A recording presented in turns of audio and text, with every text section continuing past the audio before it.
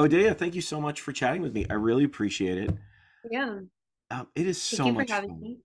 Oh, absolutely. Absolutely. Honestly, Dangerous Waters is so much fun.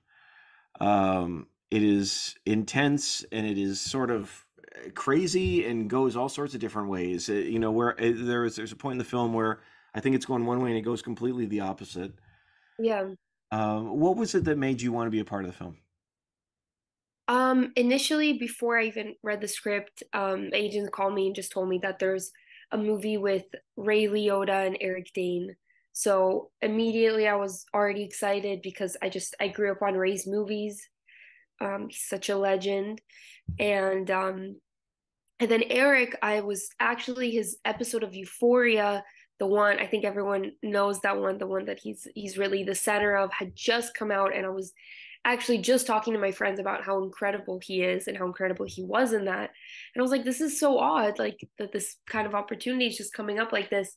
So initially, I was just excited just from the people involved, and I read the script, um, and I really, really loved the script. I was just terrified. You know, I'd never done an action movie. Um, I've done an action movie before, but not not where one where I had to do any action.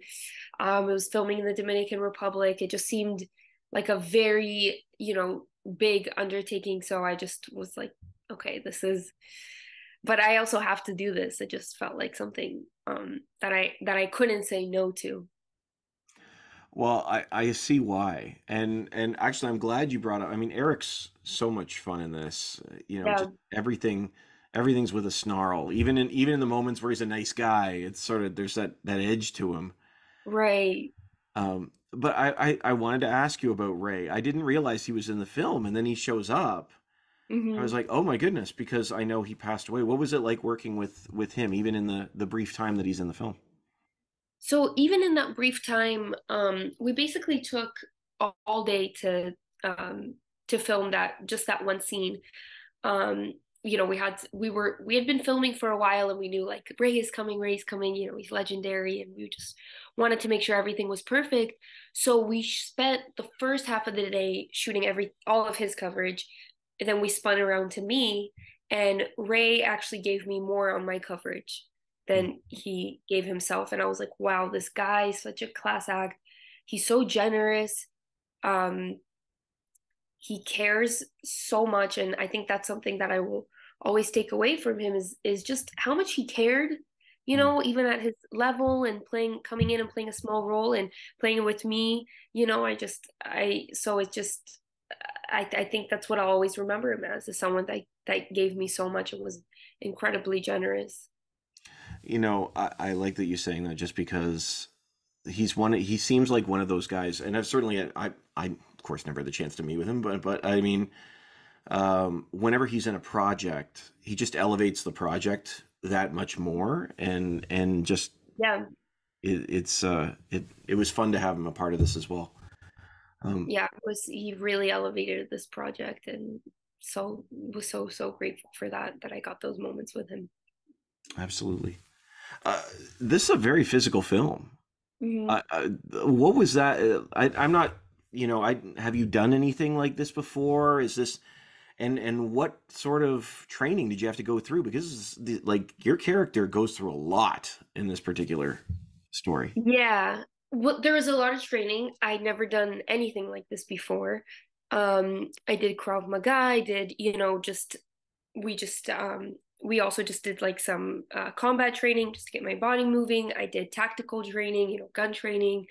Um, and then we worked on the stunts a lot, you know, from for months we were we were working on the stunts that I had that I did. Um, you know, some of them changed on the go, but it is like a dance rehearsal. You do have to, you know, and and the, our stunt coordinator kind of um, put in stunts for me that of things that I was stronger at. Um, so um, that's you know there there was a lot of physical training, and it was very new to me. Um, and I did not even know if I was going to like it. I didn't think I would like it or even be good at it. And my first time in the shooting range, I was like, wow, okay, I'm a good shot. And then um, the after that, um, when when I was filming the scenes, I was like, I didn't didn't realize I would have this much fun doing an action movie.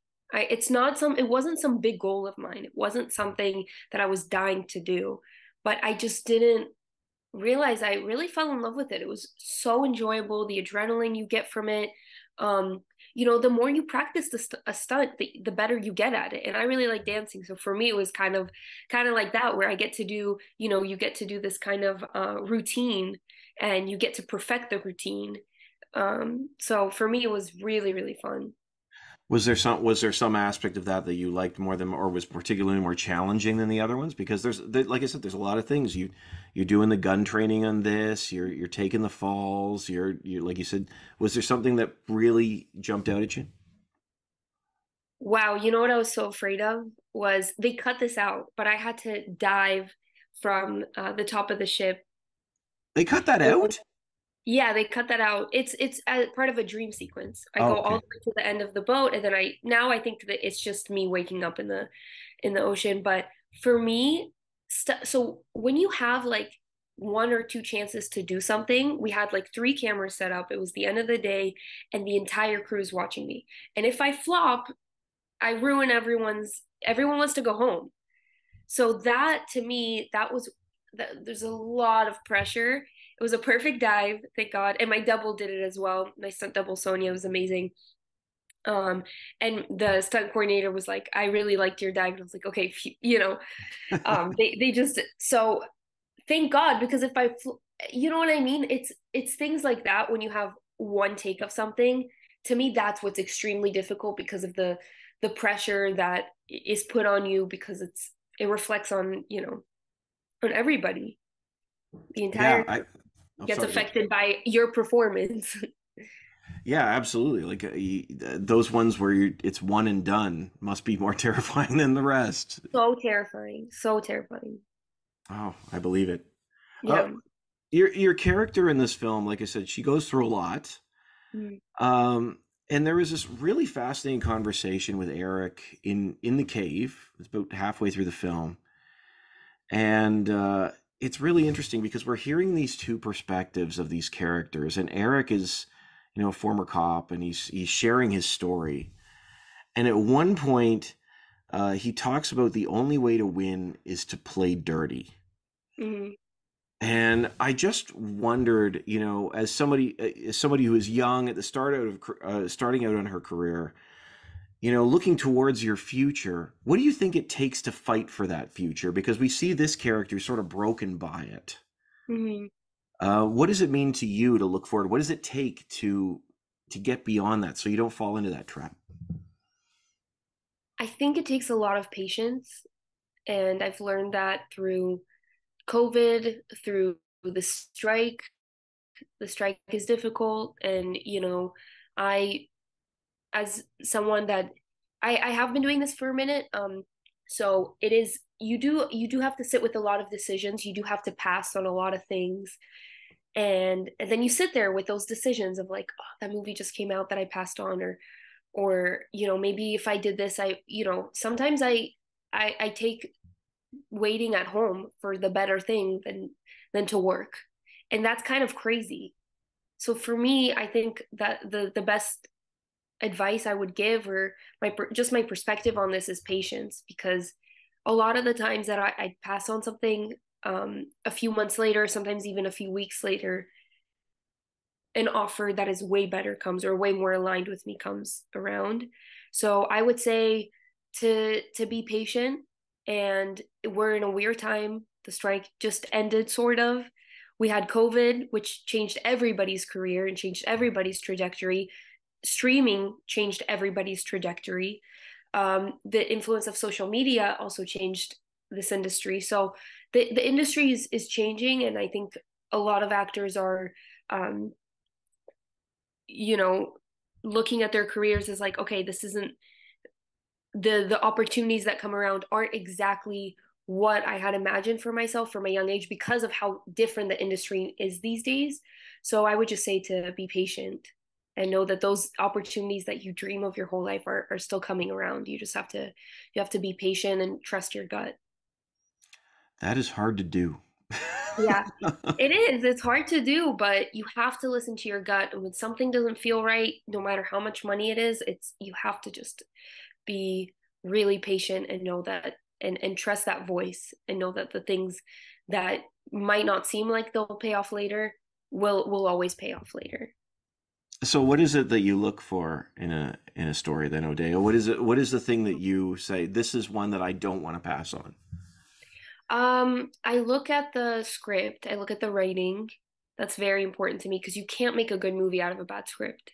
Yeah. You can definitely make a bad movie out of a good script, but you know, if the script isn't good, there's no chance there's no chance. You want to look at I look at the film and I look at the filmmakers and I don't really care too much actually about the size of the role. I'm I've been a part of Lady Bird and Cha Cha Real Smooth where I wasn't the lead role, but I knew I wanted to work with those filmmakers and I'm incredibly proud of my work and kind of like Philip Seymour Hoffman had this trajectory of taking small roles in really really incredible um projects and he made the most out of those roles. So for me, what I care about most is the the story and the filmmakers. I think that's wise. It, that's really funny because you're absolutely right. You can have a good script and not have a great end product, which seems yeah. counterintuitive. Mm-hmm. Um, but it's so important to have that that baseline mm-hmm. um, as you're moving forward. 100, percent absolutely. Yeah, exactly. Um, uh, you know, thinking back to this project here, um, I was wondering, what is it that you hope people take away from Dangerous Waters? What is it you hope uh, the type of experience that you hope they have? Hope is inspiring, um, especially for young women. I hope they see themselves in Rose, and um, I hope that also that just people take away Ray's last performance. That people mm. give give him his flowers and give him that last moment. I think it's a beautiful performance, and then also, you know, everybody who worked with him can't say enough good things about him and we we take such like for me it's just a special memory that I, that I got to work with with Ray. Um yeah and that that it's that it's motivating and, and inspiring um and that people get strength uh, through Rose. You know actually I I'm glad you said that because that actually reminds me of a question I wanted to ask you because her character has a real fire to her. Mm-hmm. Um, but it's interesting to hold her up with her mother. Like her mother is sort of, you know, uh, Eric's character. Forgive me, I can't think of his name. Makes Derek. yeah, he's Derek. It, Derek. Okay, so Eric's character's name is Derek, but yeah, I always thought it'd be funny if his name was Derek Ain. Like I was like, we have to make his last name Ain. so funny. That would have been amazing. Um, yeah, I know. But but it's interesting because the the the woman playing your mother, like Derek, makes these comments. Oh, he's just making conversation. He wanted to know where I was headed, looking this good. And and there's this moment your character looks at her and it's just sort of like sad, like that because this almost this belittling mm-hmm. of your mother's character. But I I was wondering, can you tell us a little bit about Rose? and what it is that that really draws you to her how do you connect with her because there's a real strength within her there's a real strength and there's she's um she's very intuitive mm. and she picks up on a lot of things that her mom can't pick up on. And i think she has a really interesting relationship with her mom because rose is a teenager right? She's still 19 and she has a mom that she doesn't agree with on a lot of things. But i love that it, she still just really wants to protect her mom and it's still a really loving relationship between her and her mom. She doesn't judge her mom she tries to see all the good parts in her and she tries to use her protective senses that she inherited from her dad to to protect her mom because that they're they're a partnership.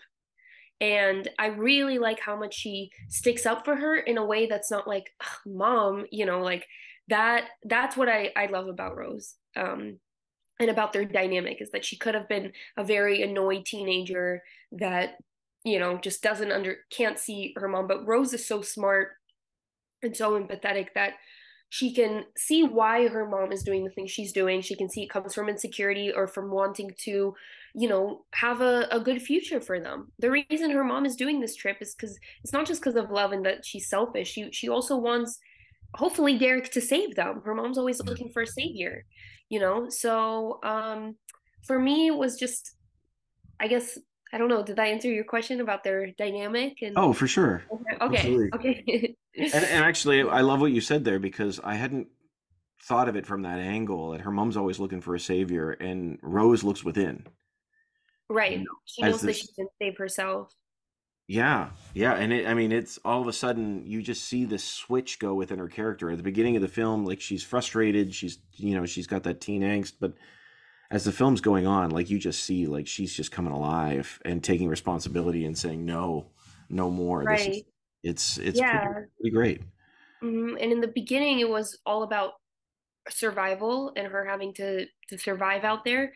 And then the minute she sees those girls, it it all switches over and her her purpose in life changes and she knows she has to save those girls. And that that was a really great motivation for me to play off of. I thought that was really important that it's not just about herself anymore.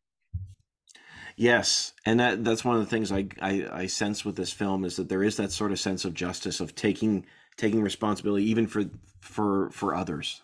hmm Yeah. Um, that actually adds a beautiful aspect to the film when when she meets the other girls because there's there's so much meaning in that moment, Yeah. uh, and you can see it matters to Rose Yes, as exactly. well. hmm That takes it above the the traditional action film. This isn't just a revenge flick. This is a a, a, a justice flick in many ways. Yes, exactly. And we're also, you know, making a statement about human trafficking and and that this is a, this is a common thing. This is a thing that is happening in our day and age. Um, and I just love that we have females sticking together and looking out for each other and how much, you know, that I just I, I I love that this is ends up becoming Rose's purpose. And I can just see her you know in in in the rest of her life i can just see her continuing to to fight for justice for other people I appreciate that so much. Odeya, thank you. You're you're wonderful. Thank you so oh much for your time. likewise i, I really enjoyed this Oh, thank you. I really appreciate that. And I wish you the best with the film. Thank you so much for your time. thank you thank you you too Thanks. we'll Have a great soon day. you too bye Bye. Like